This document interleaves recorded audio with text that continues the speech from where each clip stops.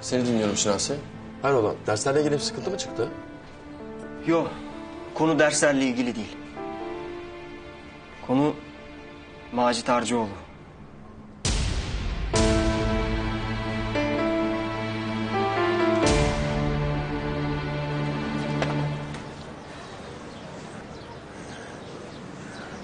Faiz Bey.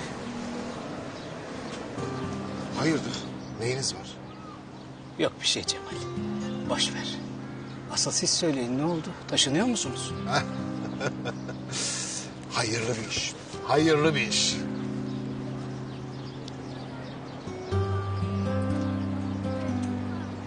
Ah benim oğlum başa neler gelmiş de hiçbirimizin haberi olmamış. Ah benim canım oğlum. Tevekkili değil o günden beri ağzını bıçak açmıyor. Zehra ne olur olan oldu. Hala daha Neriman diyor da başka bir şey demiyor. Ah çocuğum ben sana hangi duaları okutsam, hangi hocaları göstersem seni. Zehra. Ne Zehra ne? Oğlumun başına ne geldiyse Neriman yüzünden geldi. Yedi bitirdi benim çocuğumun ömrünü, yedi bitirdi. Zehra böyle devam edeceksen Anne lütfen böyle yapma. Bunda Neriman'ın bir suçu yok. Siz de kimden yanasınız be? Biraz ananızı düşünün, biraz abinizi düşünün. ben gidiyorum Zehra. Ne? Nereye gidiyorsun Gülter? Ben sana iki çift laf edemeyecek miyim Gülter? Haksız mıyım? Anlat dedin anlattım. Ama pişman oldum.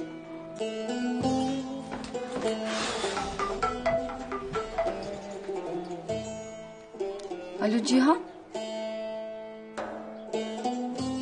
Gelirim. Tabii gelirim. Hayırlı olsun. Mahalleye taşınmışsın. Teşekkür ederim. Peki şu Macit de seninle mi kalıyor? Evet. Neden sordun? Hiç öylesine merak ettim. Siz tanışıyor musunuz Macit'le?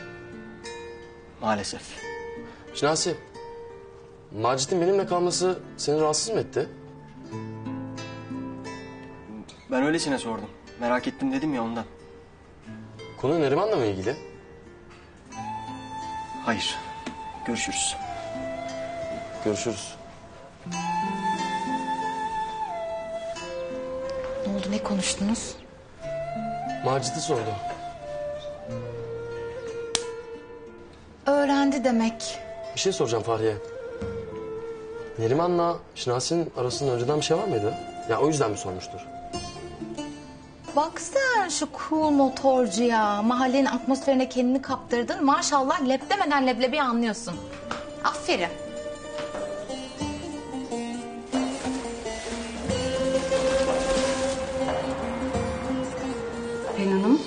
Beni çağırmışsınız.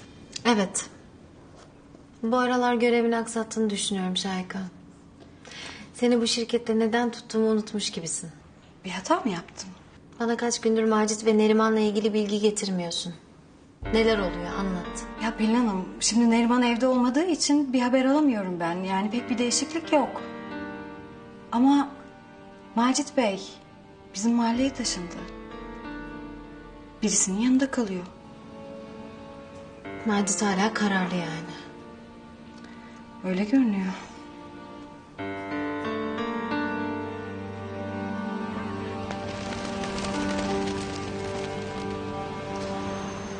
Sadece beni dinlemeni istiyorum Neriman. Lütfen. Sadece dinle.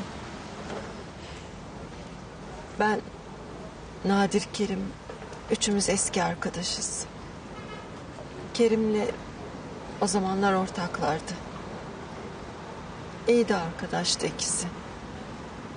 Nadir'le bense biz evlenecektik. Ben ona aşıktım. Çok aşıktım. O da bana. Yani öyle sanıyordum o zamanlar. Üzerime titrerdi. Gözlerimin içine baktığında kendimi dünyanın en mutlu kadını sanırdım. Gözümüz birbirimizden başka hiçbir şey görmezdi.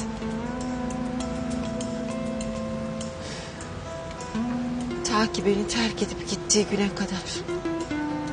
Sizi terk mi etti? Düğünümüze iki hafta vardı.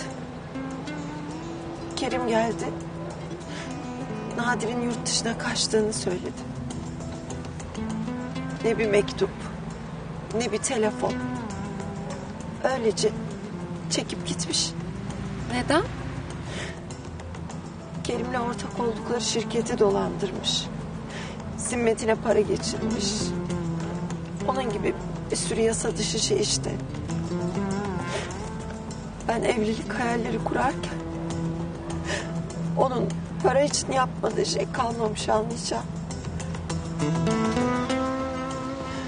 Foyası ortaya çıkınca da... ...kaçıp gitmiş. Halbuki ne çok sevmiştim onu. Evleneceğimiz için ne kadar mutluydum. Oysa onun derdi hep paraymış.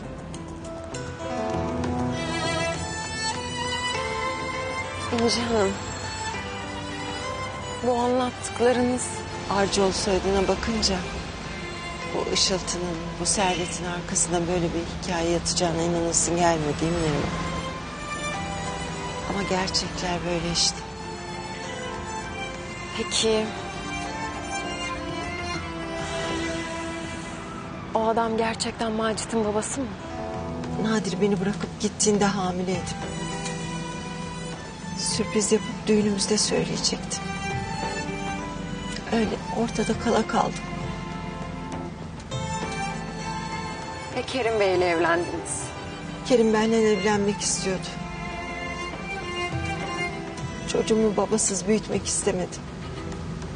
Sonra da bir türlü söyleyemedim. Kerim...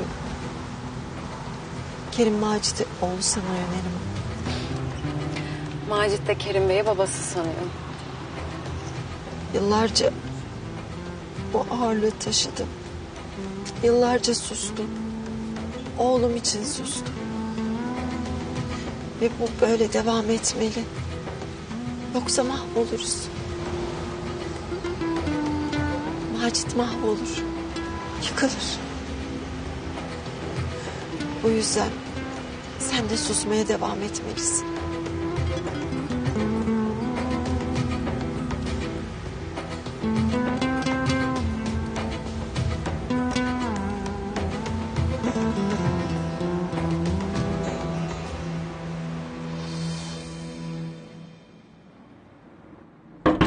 Aç kapıyı aç. Kerim Bey. Bir dakika dur ne olur Kerim Bey. Böyle dalga mı geçiyorsun lan? Çocuk mu kandırıyorsun? Ne dalgası? Ne diyorsun ya? Bana bak. Salak numarası yapma karşımda. Bu kim lan? Cevap versene lan bu kim? He kim bu? Cevap versene. Nadir. Nadir he? Nadir değil mi? Hani lan